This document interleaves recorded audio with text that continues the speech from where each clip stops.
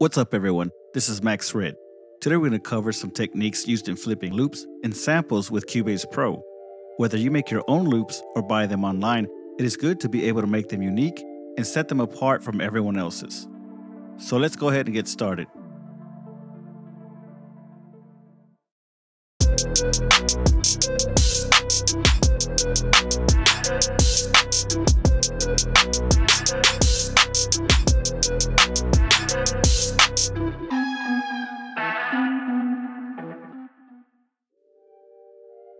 we're going to use a loop from Splice. It is a great way to find samples for your project. You can select options such as instrument type, like this piano here.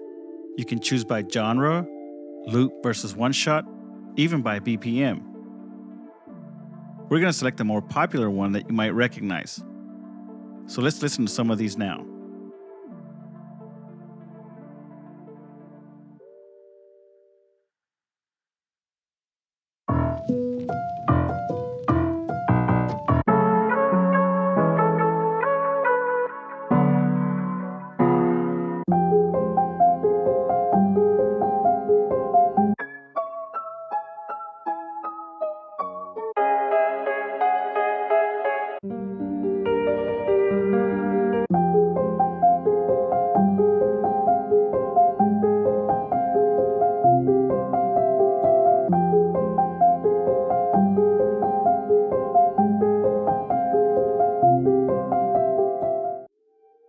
Once we find a loop that we like, we can simply drop it into our project and get started.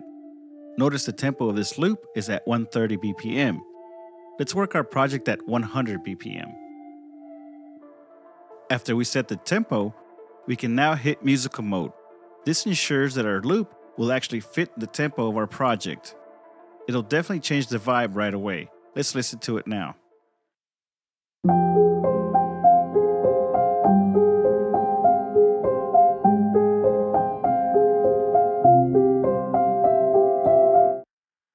We can now set our locators for 8 bars, and we can play with the pitch of our loop up or down. Let's go up 3 semitones.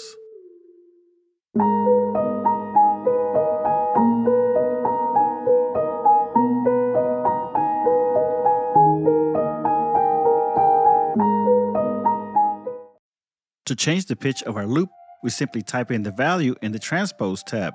For this one, we'll go down 3 semitones.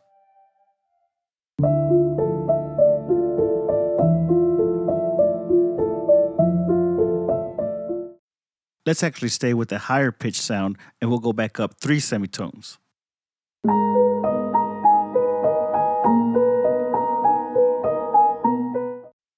One thing I like to do is to duplicate my loop.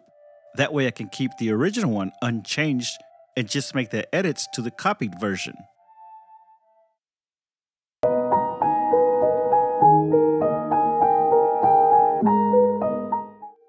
For this example, I'm going to cut our loop in half and just work with a 4 bar section. I can then use the time stretch tool and expand our 4 bars into 8 more bars and change up the sound once more. Let's see what effect that has on our loop now.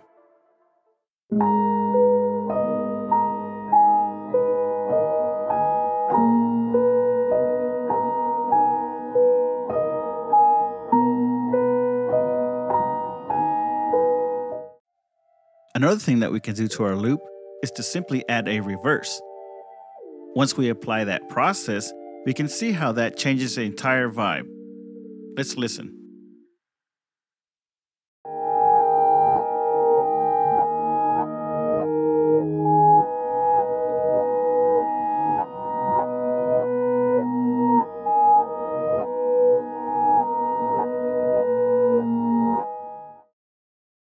A common way for making your loop unique is to chop up the sample and rearrange the sections.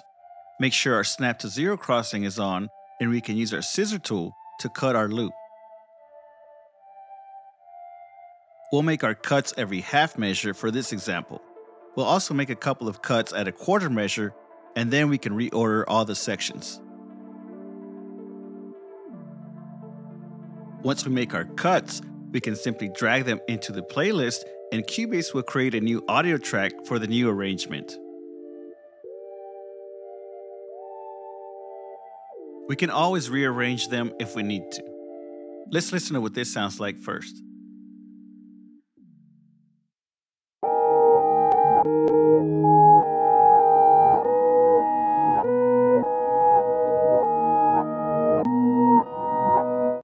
Notice that we're getting a lot of clicks in between our sections. To eliminate the clicks, we select all the sections and hit X to apply crossfades.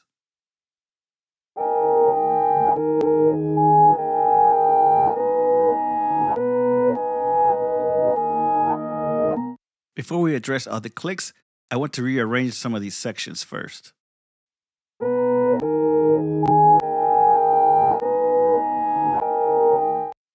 We're still getting some of those clicks, so we make sure the crossfades are in. We may have to zoom in and fix that problem.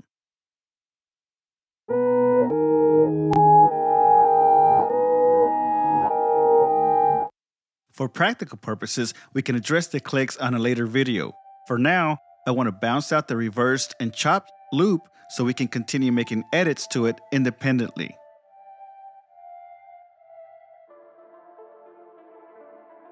Be sure to name your new track so you can keep track of all the different changes you've made as you go.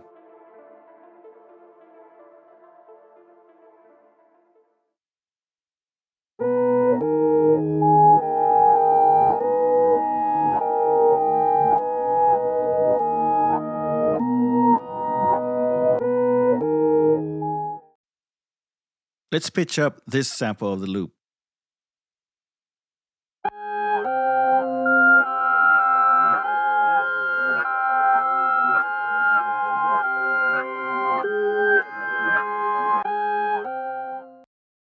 We can EQ some of those harsh frequencies.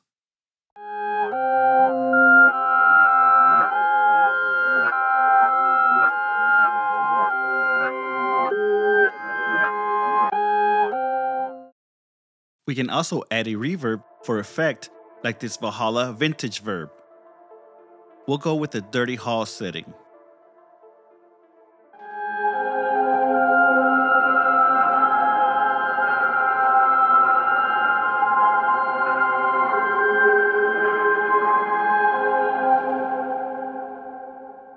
We can then try to reverse our newly created loop with the reverb and see what that sounds like.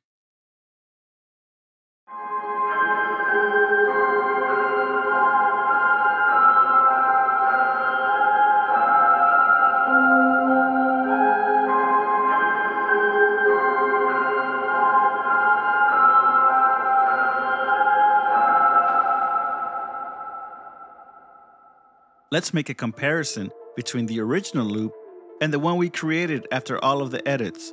We'll have to change the tempo back to 130 to hear the original. Okay, let's hear that now.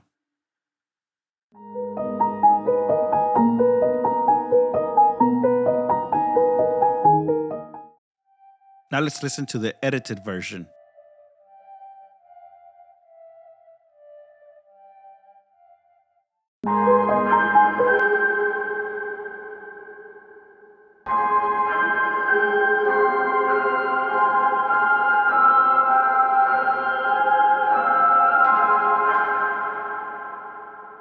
Kind of like it at 130.